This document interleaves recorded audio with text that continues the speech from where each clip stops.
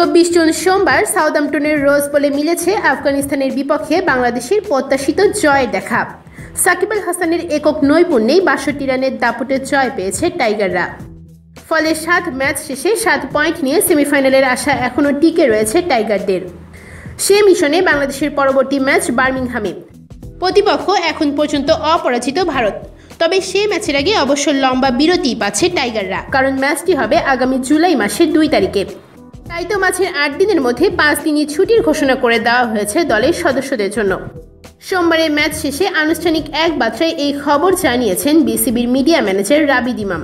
যেখানে তিনি নিশ্চিত করেছেন আগামী উনত্রিশ জুন পর্যন্ত ছুটিতে থাকবে বাংলাদেশ দলের সদস্যরা। পরে তিরিশ জুন থেকে শুরু হবে ভারতের বিপক্ষে মাঠে নামার প্রস্তুতি। তবে পঁচিশ তারিখ মঙ্গলবার স্থানীয় সময় বেলা এগারোটার সময় সাউদাম্পটন থেকে বার্মিংহাম চলে যাবে দল।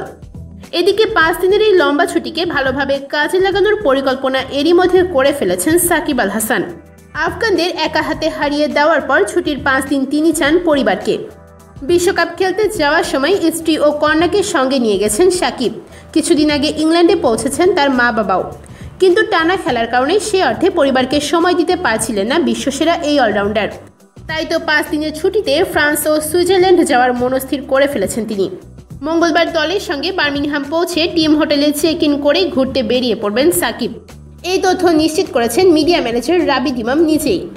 তবে দর্শক, এতটুকু শুনে এই ভাববেন না যে ছুটিতে শুধু সাকিবই ঘুরতে বের হবেন, আর বাকিরা থাকবেন টিম হোটেলে। আসলে বাকিরা এখনও ঠিক করেননি তারা কোথায় যাবেন বা কি করবেন এই পাঁচ দিন।